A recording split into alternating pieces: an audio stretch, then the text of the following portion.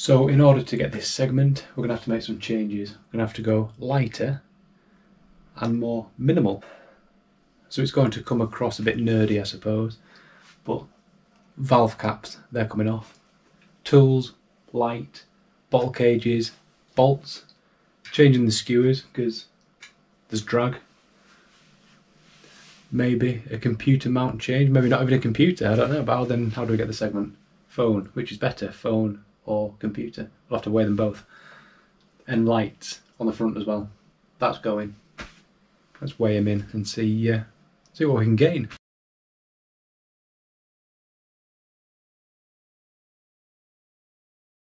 So, change is done, and this is what I found.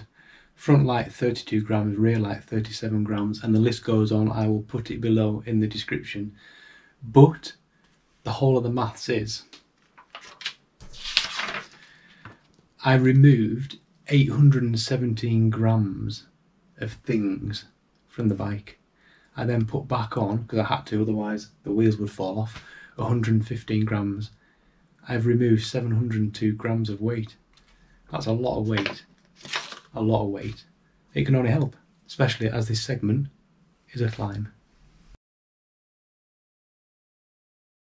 So I suppose all that's needed now is a good clean.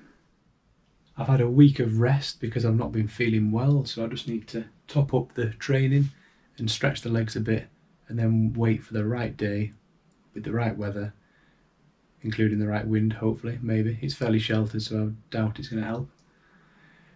And give it a full beans attack and see what happens.